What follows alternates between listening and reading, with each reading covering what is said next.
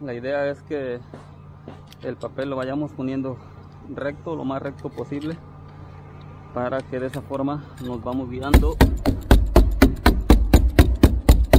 nos vamos guiando del, del papel.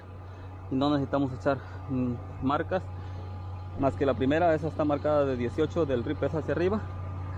Y esa es la única marca que necesitamos.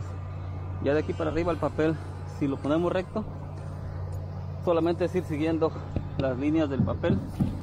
Y eso es todo lo que lo que tenemos que hacer para poder salir rectos igual en ese gaibito de ahí. Es, igual también hay que poner el, el papel recto.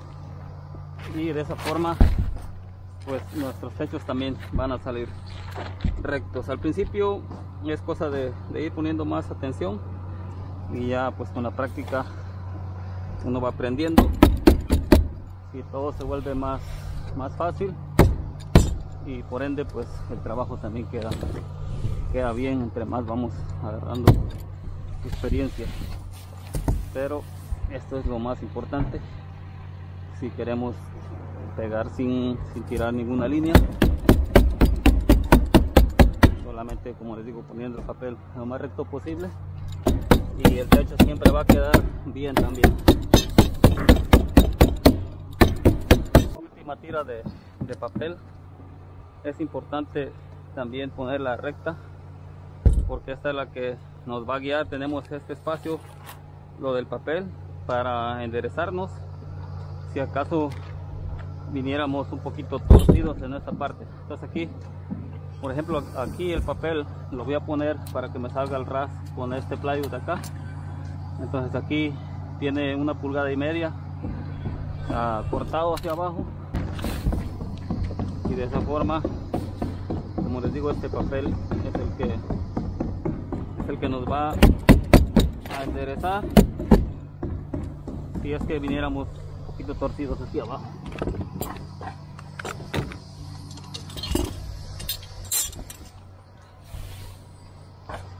Al tanteo puede quedar bien simplemente hay que hay que mirar la distancia que tiene entre el papel y el caballete ya y la misma distancia aquí es. Puede fallarte un cuarto media pulgada tampoco hay que ser tan perfeccionista. Simplemente que es para tener una referencia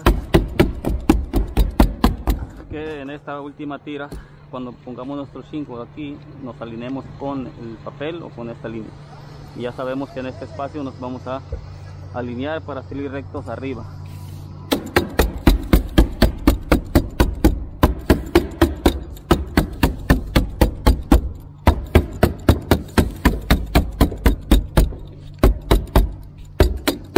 sabemos que esta línea está recta y pues ya no tenemos ningún problema. Y lo mismo del otro lado hacemos exactamente lo mismo, lo ponemos a la misma distancia allá para enderezarnos también ahí en este, en este otro lado.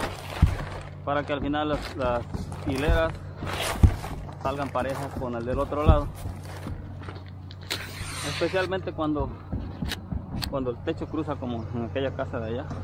Esta pues el techo no eh, no, cruza lo suficiente aquí no tiene nada que ver este techo con este porque si sí, el rich va a tapar hasta arriba. Entonces aquí no es necesario uh, salir rectos con, con, las hileras del otro lado. Claro que si es posible si queremos se puede hacer pero no importa porque el rich tapa ahí o sea divide un techo con otro. Entonces esto es más fácil todavía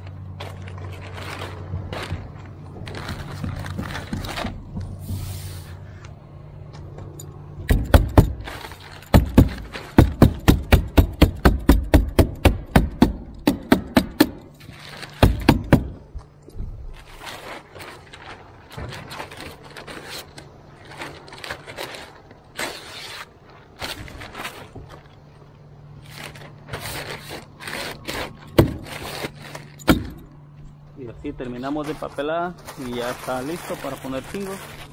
Ahora le ponemos al de este lado y es exactamente lo mismo.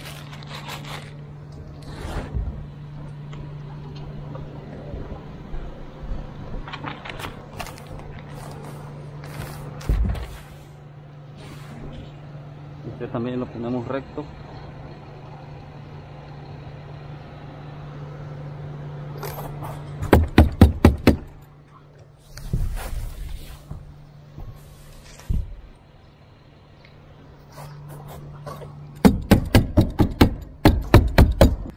Bueno camaradas, pues así es como quedó ya este trabajo terminado.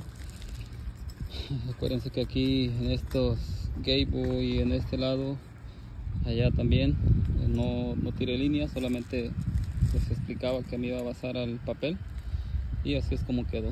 No queda 100% recto como un láser, pero pues pienso que es algo, algo que pasa.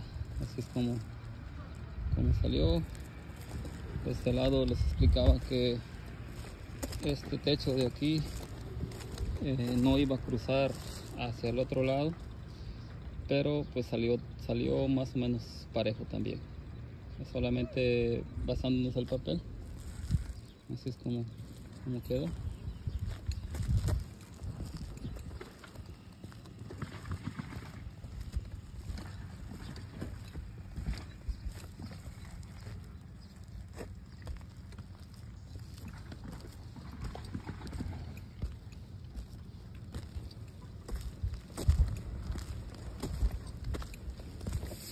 de este lado también.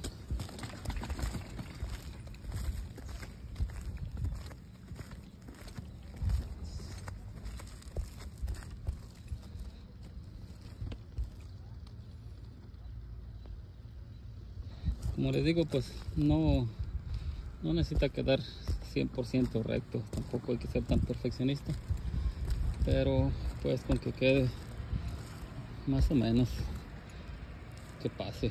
No, tampoco vamos a exagerar que vamos a hacer tan perfecto, pero un trabajo que, que se vea bien.